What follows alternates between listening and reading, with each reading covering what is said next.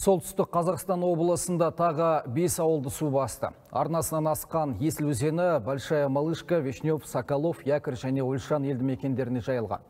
Қауіпті аймақтардағы ахуалдар әріптесім Айдарбек Айтмұхамбетұлы көріп келді.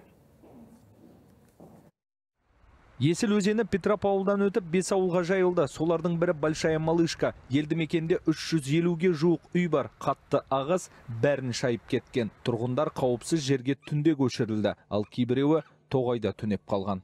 Вода пошла, не знаю, прям быстро.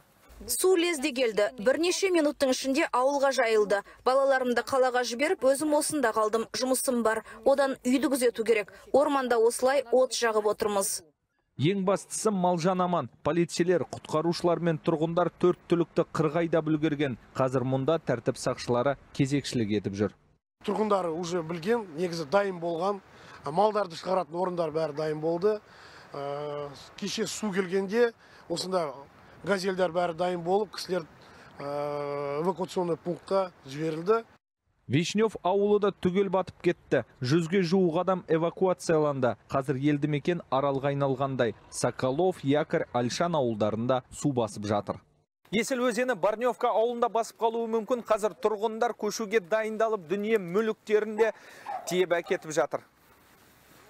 Қазір облыс бойынша 2000-нан астам үйге су жайылды. Қауіпті аймақтардан 10 мың адам көшірілді. Енді көктемгі тасқынның екінші толқыны келе жатыр. Бүгін 90 ауылында Есіл өзені тағы да көтерілді. Оған Ақмола облысының теріс қаққан Жабай және Қалқұтан өзендері құяды. Айдарбек Айтмұхамбетұлы Төлеген Иманов, Қуаныш Қазбеков, Солтүстік Қазақстан облысы 24 кейзет.